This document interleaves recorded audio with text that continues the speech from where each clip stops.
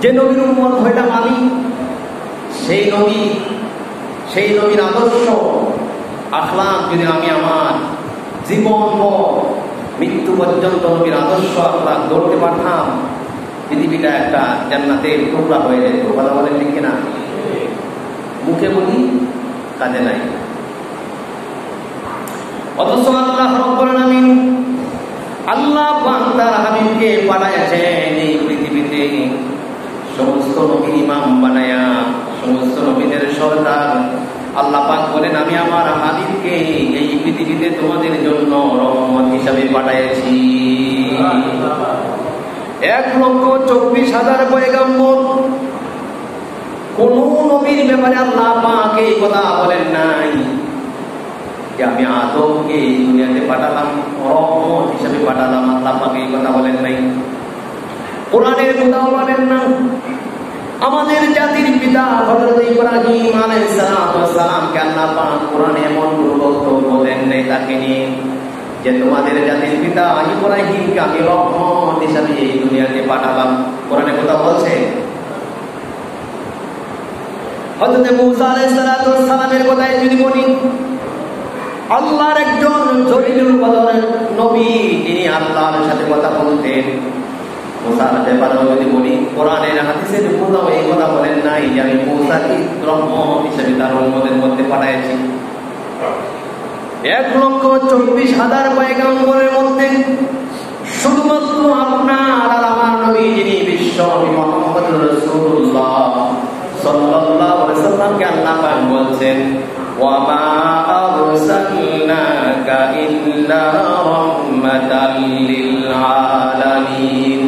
আমি এই পৃথিবীতে আমার হাবিবকে শুধু মানুষের মানুষের জন্য না রহমাতাল লিল আলামিন। পৃথিবীর সমস্ত মানুষের জন্য রহমত হিসেবে পাঠাইলাম যেটা আজ যদি আমি বিশ্ব নবীর উম্মত হিসাবে, নবীর উম্মত আমি, নবীর আখলাক আর আদর্শ যদি গ্রহণ করতে পারতাম, তাহলে আমার জীবনটা দুনিয়াতে একটা জান্নাতের বাগান হয়ে যেত। শুধু মুখে মুখে বলি, আমি একজন মুসলমান। শুধু আমার মুখে উচ্চারণ হয়, আমি একজন মুসলমান। কিন্তু আল্লাহর নবী যে মিশন নিয়ে এসেছিলেন, যে কাজ নিয়ে এসেছিলেন, ওই কাজের একশো ভাগের এক পাও এক ভাগও আমার ভিতরে পাওয়া যায় না। সিরাত ইবনে হিসাম থেকে আপনাদেরকে শোনাচ্ছি একটা ঘটনা। আল্লাহ পাককে বললেন, আমি আমার হাবিবকে রহমত হিসাবে এই পৃথিবীতে পাঠালাম। সিরাত ইবনে হিসামের মধ্যে উল্লেখ করেছেন, হযরতে হালিমাতুস সাদিয়া যখন আল্লাহর নবীকে নিলেন দুধ পান করানোর জন্য হালিমাতুস সাদিয়া বলেন, আমি যখন বিশ্ব নবীকে আমার কোলে নিলাম আমার কোলে নিয়ে আমি এক বাগের দুধ তাকে পান করালাম, একটা স্তনের দুধ তাকে পান করালাম। নিজের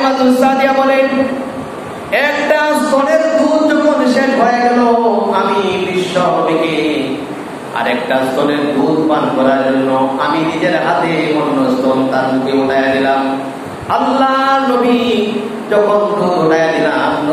আমার এই দুধ থেকে সে মুখ ফিরাইয়া দিল একবার তার মুখের মধ্যে দুধ উঠাই দিলাম দুইবার তার মুখের মধ্যে আমি আমার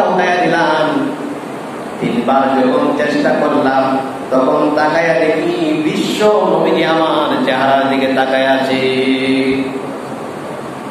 আমি তখন তাকায় দেখলাম, শিশু মোহাম্মদ সাল্লাম আমার দিকে এমন ভাবে তাকালে মনে হয় জানি কি জানি আমাকে বলতে চাচ্ছেন আমি মনে মনে চিন্তা করলাম, আমার তো আরেকটা শিশু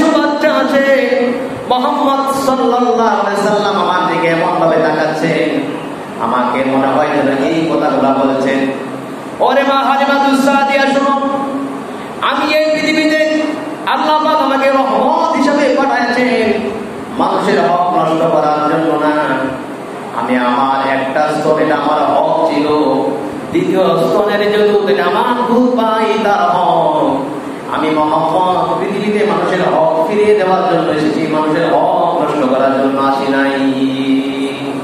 সুবহানাল্লাহ বলবেন বিশ্ব নবীজির জীবনী পড়লে দেখা যায় জীবন মৃত্যু পর্যন্ত মানুষের কল্যাণের জন্য কাজ করেছেন। যে বলতেন বাজারে যাওয়ার সময় বলতেন তোমাদের কার করে বাজার নাই, আমাকে বলো, আমি বাজার করে দেব। তোমাদের কার ঋণ আছে, আমাকে বলো। আমি তোমাদের ঋণের দায়িত্ব নিব, আমি মোহাম্মদ তোমাদের ঋণের দায়িত্ব নিয়ে ঋণ থেকে মুক্ত করে দিব। নবীজি মানুষের সারাটা জীবন মুক্তির জন্য কাজ করেছেন, কথা বলেন ঠিক কিনা? এমনকি মৃত্যুর সময় করেছেন। মৃত্যুর সময় একটা ঘটনা আপনাদের শোনাই, তারপরে আমার আলোচনায় যাব। মৃত্যুর সময় যখন গণায় আসলো, আল্লাহর নবী সাল্লাম ভীষণ অসুস্থ। নিজে নিজে দাঁড়াতে পারে না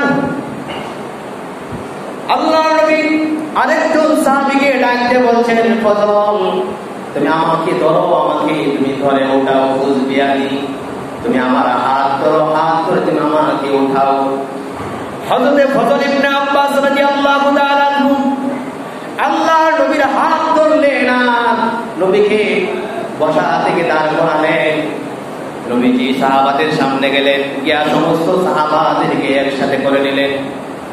নবীজি গিয়া ঘোষণা করে দিলেন, ফজল, সমস্ত সাহাবাদেরকে বলে দাও, তারা যেন একসাথে হয়ে যায়। আল্লাহ নবী ঘোষণা দেওয়ার সাথে সাথে সমস্ত সাহাবারা একসাথে হয়ে গেলেন।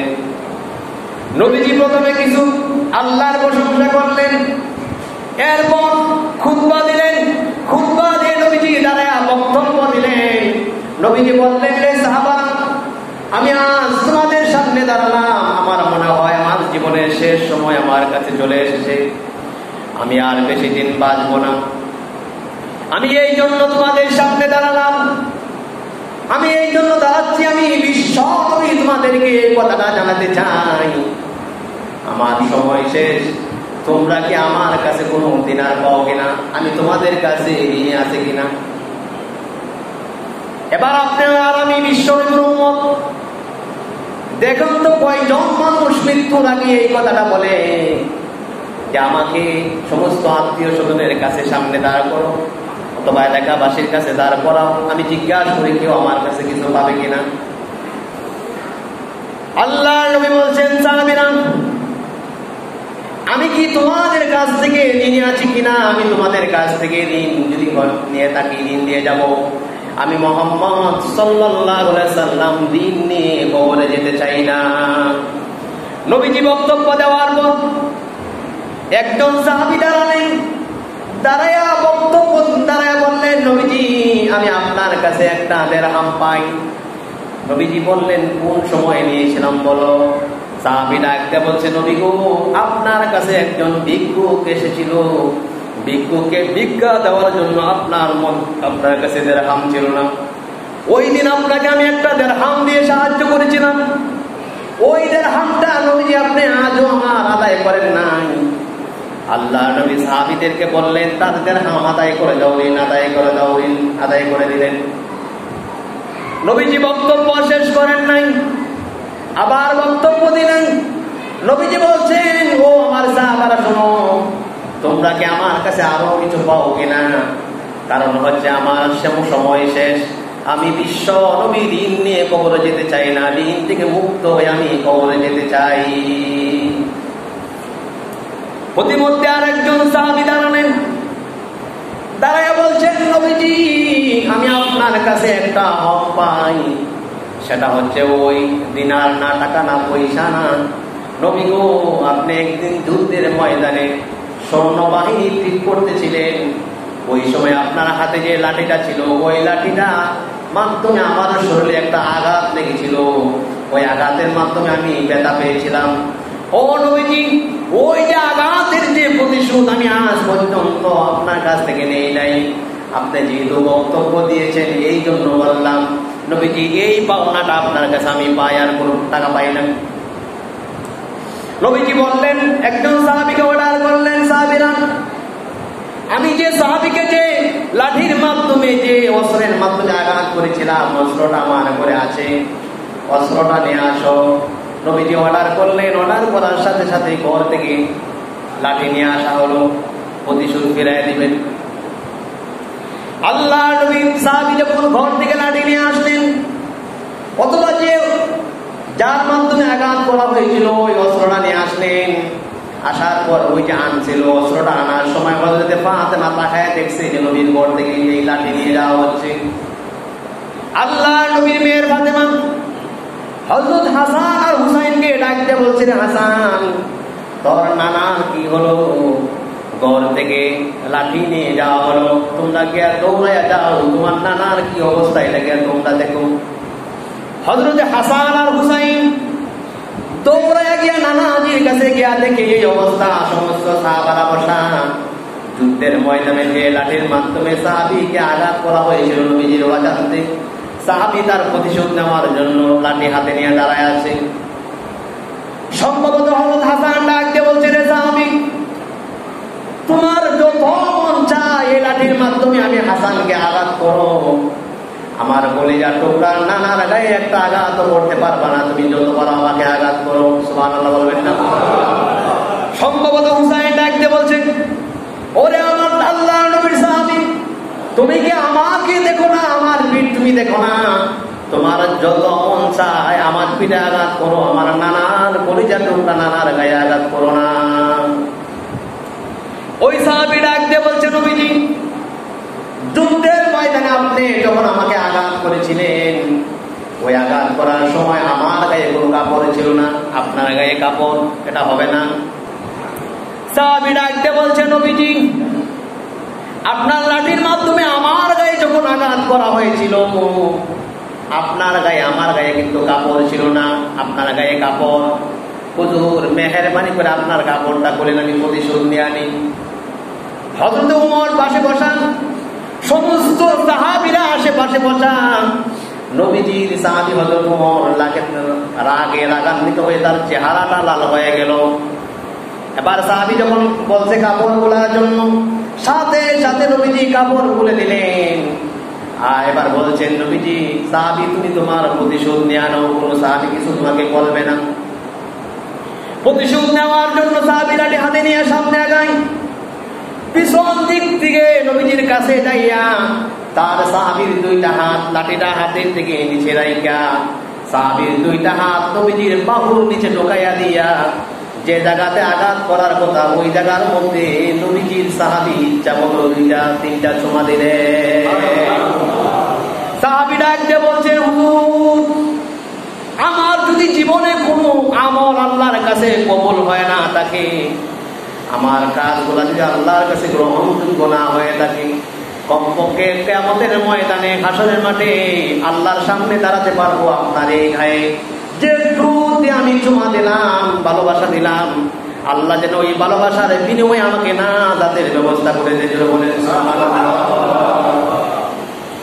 সেই নবীর উম্মত, আমরা বিশ্ব নবীর উম্মত, কার সবাই চিল্লায় বলেন, কার